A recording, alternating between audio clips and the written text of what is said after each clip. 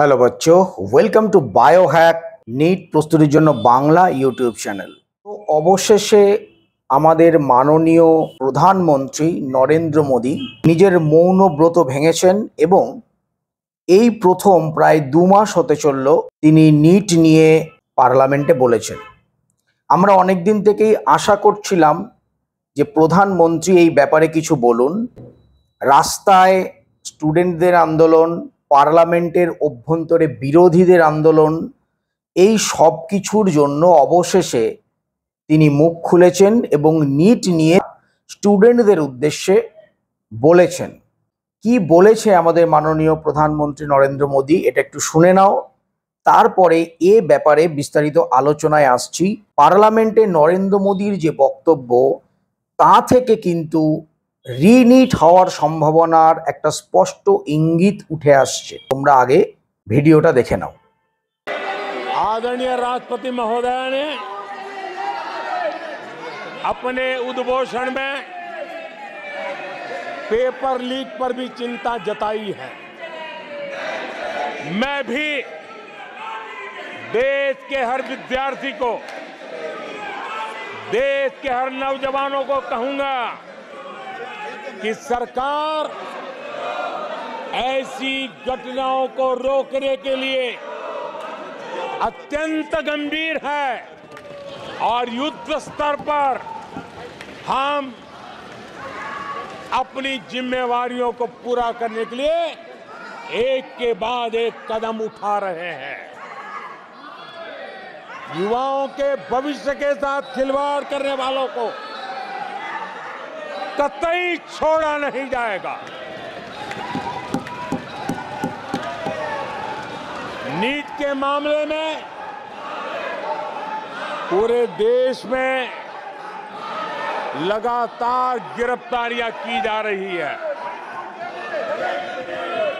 केंद्र सरकार पहले ही एक कड़ा कानून बना चुकी है। परीक्षा कराने वाले पूरे सिस्टम को पुख्ता करने के लिए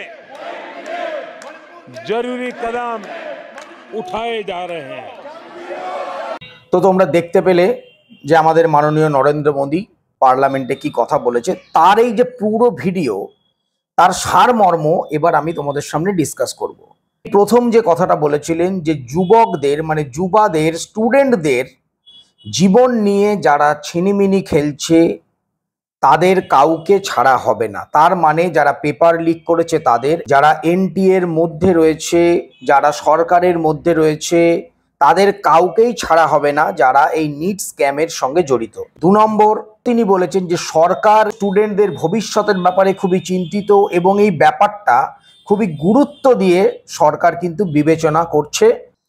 এছাড়াও পেপার লিক সম্বন্ধে নরেন্দ্র মোদী যেটা বলেছে, এইটাই কিন্তু রিনিটের পক্ষে একটা ইন্ডিকেশন সেটা হলো মোদিজি বলছেন যে গোটা ভারতবর্ষে পেপার লিকের কারণে অ্যারেস্ট হচ্ছে।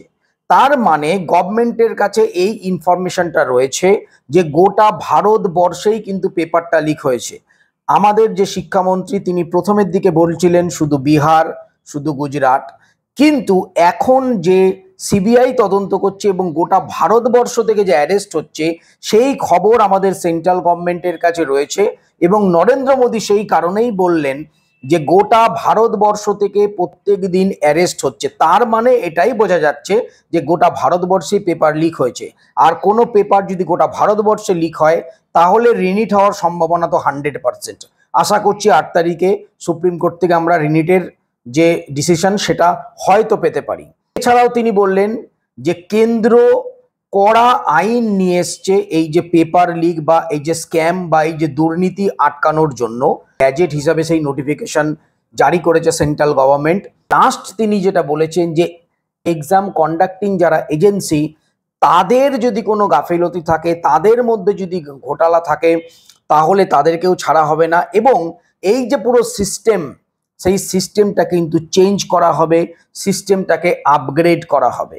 আজকে পার্লামেন্টে যে সমস্ত কথাগুলো বলেছে, সেই টোটাল তাকে আমরা যদি একটা সামারি করি, একটা জিনিস বোঝা যাচ্ছে যে সেন্ট্রাল গভর্নমেন্ট এবং এনটিএ স্টুডেন্টদের এই যে আন্দোলন, লোকসভার বাইরে, লোকসভার অভ্যন্তরে, রাস্তাঘাটে সর্বত্র, সোশ্যাল মিডিয়াতে সর্বত্র সেই আন্দোলনের কাছে কিন্তু আস্তে আস্তে মাথা নত করছে নতি স্বীকার করছে এবং গভর্নমেন্ট কিন্তু টোটাল যে এক্সাম এইটাকে টোটালটা ক্যান্সেল করে, নতুন করে এক্সাম করার পক্ষে কিন্তু সওয়াল করছেন এবং গভর্নমেন্টেরও কিন্তু মানসিকতা আগে যেটা ভাবা হয়েছিল, সেটা কিন্তু আস্তে আস্তে পরিবর্তন হয়ে রিনিটের দিকেই যাচ্ছে। যদিও ফাইনাল ডিসিশন সুপ্রিম কোর্ট নেবে, সুপ্রিম কোর্ট ডিসিশন নিলেও গভর্নমেন্ট এবং এনটিএ তাদের পক্ষ থেকে সুপ্রিম কোর্টকে কি জানায়? সেইটা কিন্তু খুব ভাইটাল। এনটিএ এবং গভর্নমেন্ট সুপ্রিম কোর্টকে কি বলবে? সেটাও একটা বড় ফ্যাক্টর কিন্তু সুপ্রিম কোর্ট ডিসিশন নেয়ার পক্ষে। সেন্ট্রাল গভর্নমেন্টের পজিশন আস্তে আস্তে পাল্টাচ্ছে। যেভাবে নরেন্দ্র মোদী বললেন যে গোটা ভারতবর্ষ থেকে অ্যারেস্ট হচ্ছে স্টুডেন্টদের প্রতি কোনো রকম অন্যায় করা হবে না। তাতে করে কিন্তু রিনিট অনলি সলিউশন বলে আমার মনে হচ্ছে এই মুহূর্তে। এর কারণ, নিটের যে পেপার লিক সেই পেপার লিকের যতগুলো ইস্যু রয়েছে, সবগুলো ইস্যুকে আলাদা আলাদা করে শর্ট লিস্টেড করা প্রায় অসম্ভব। এর কারণ এনটিএ যদি প্রপার তথ্য না দেয়। কতজনাকে গ্রেস মার্ক দিয়েছে? দুদিনের জন্য যে রেজিস্ট্রেশন উইন্ডো ওপেন হয়েছিল, তখন কি হয়েছে, তাদের মার্কস কি হয়েছে, তারা কীরকম রেজাল্ট করেছে, তাহলে কীভাবে রেজাল্টটাকে নতুন করে রিইভ্যালুয়েট করা যাবে? রিইভ্যালুয়েশন বা নতুন করে রি রেজাল্ট সেটা কি করে হবে? তাছাড়া পেপার লিকের যে মূল পান্ডা যে সঞ্জীব মুখিয়া, তিনি এখনও কিন্তু সিবিআই এর হাতে অ্যারেস্ট হননি। কোথায় কোথায় পেপার লিক হয়েছে, কি হয়েছে, সেই টোটালটা ধোয়াশা। পেপার লিক থেকে কতজন সুবিধা পেয়েছে সেটাও ধোয়াশা। আর এইগুলো যদি ক্লিয়ার করতে না পারে, তাহলে রিনিটি হতে পারে। আরেকটা জিনিস যেটা পয়েন্ট করার বিষয়, ছ তারিখ থেকে কাউন্সিলিং শুরু হওয়ার কথা হলেও এখনও পর্যন্ত এমসিসি না কোনো সিট ম্যাট্রিক্স প্রকাশ করেছে, না কোনো প্রপার নোটিফিকেশন জারি করেছে। তাদের যে ওয়েবসাইটে যে আপডেটেশন সেটাও কিন্তু ভালো মতো এই মুহূর্তে হয়নি। মাত্র তিন দিন পর কাউন্সেলিং স্টার্ট হওয়ার কথা, কিন্তু এখন অবধি কিন্তু কোনো ইনফরমেশন নেই। সুতরাং এমসিসিও কি আদেও ছ তারিখে কাউন্সেলিং শুরু করবে নাকি আট তারিখের জন্য ওয়েট করবে সেটাও আমরা জানি না। তো দেখা যাক সুপ্রিম কোর্টে আট তারিখে ডিসিশন কি হয়। তবে সুপ্রিম কোর্টের ডিসিশনটাও কিন্তু নির্ভর করবে সেন্ট্রাল গভর্নমেন্ট এবং এনটি এর মনোভাবের ওপর। যাই হোক, আমাদের প্রত্যেকের নজর আট তারিখে সুপ্রিম কোর্টের ডিসিশনের ওপরেই থাকবে। আজ এ পর্যন্তই নিট রিলেটেড ইনফরমেশন পাওয়ার জন্য চ্যানেলটা সাবস্ক্রাইব করো, সবাই মন দিয়ে পড়াশোনা করো নিট কিন্তু ক্লিয়ার করতেই হবে। আজ এ পর্যন্তই, সবাই খুব ভালো থেকো, টাটা, দেখা হচ্ছে পরের ভিডিওয়